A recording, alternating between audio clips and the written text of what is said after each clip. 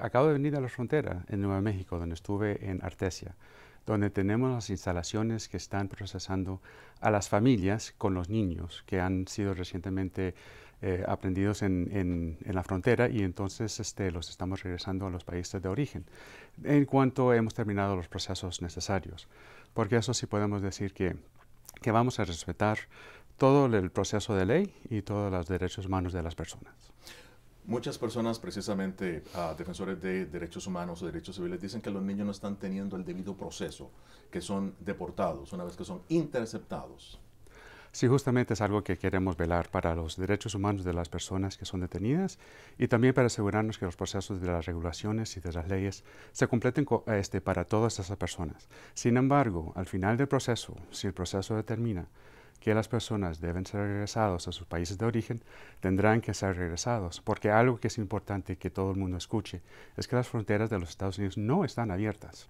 ¿Cuál es el proceso cuando un niño es interceptado? por agentes de Estados Bueno, en primer lugar, si son, eh, si son detenidos por eh, la patrulla fronteriza, entonces tienen aproximadamente 72 horas para ser procesadas al, al Customs and Border Patrol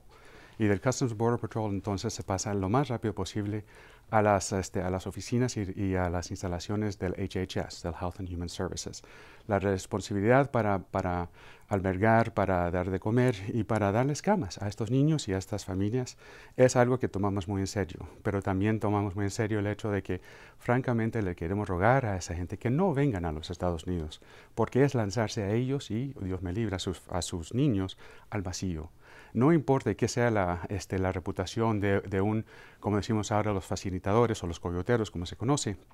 pero no importa qué sea su su este su estatus este, dentro de la comunidad donde ellos tratan de decir de que nada les vaya a pasar a alguien la realidad es que no les pueden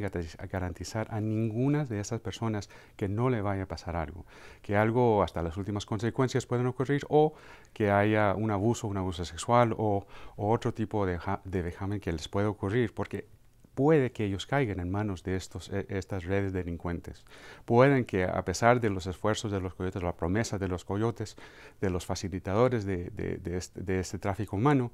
este, que caigan en manos de grupos como los Zetas o de grupos criminales en México. Y si ese es el caso, no se sabe lo que les va a pasar. Preferible que, que no vengan y que no traten de enviar a sus hijos en estos viajes que es al olvido.